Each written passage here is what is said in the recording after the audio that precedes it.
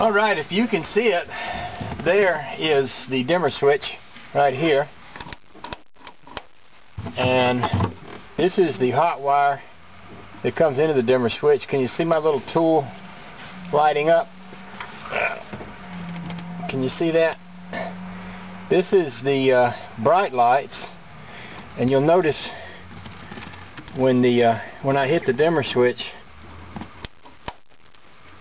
that goes out hard to do this with one hand and try it this way I need to get in there with two hands alright let's try it like this okay bright lights dim lights dim lights bright lights so that's working what I'll do is I'll put a little WD-40 on that. WD-40 is good at chasing water out of connections and I'll wiggle those around.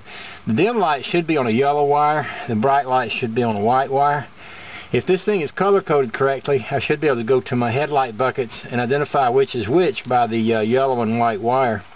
So I'll put a little WD-40 on that, wiggle it around, go to the headlights and work from there. Okay, here we are back under the hood. Remember what I said about the yellow wire? Well, the yellow wire runs out of here, probably from the dimmer switch right up to the fuse box. I've got fire here, but I don't have it at the headlight bucket. But it goes through a fuse here, and this side is dead, which tells me that this fuse right here is dead, so I'm not getting uh, fire to my headlight bucket because it's breaking down here at the fuse. So I have to replace this fuse. That's the next thing to fix.